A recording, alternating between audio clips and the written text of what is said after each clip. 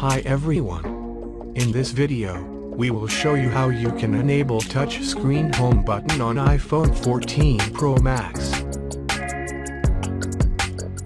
First, open Settings. Then select Accessibility under Home Screen.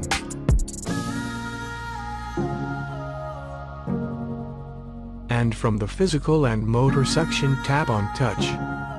After that, tap on Assistive Touch on the Touch menu.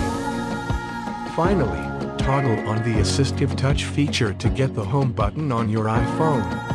And there you are. Now you have the virtual home button on your iOS device screen which functions more than the physical home button.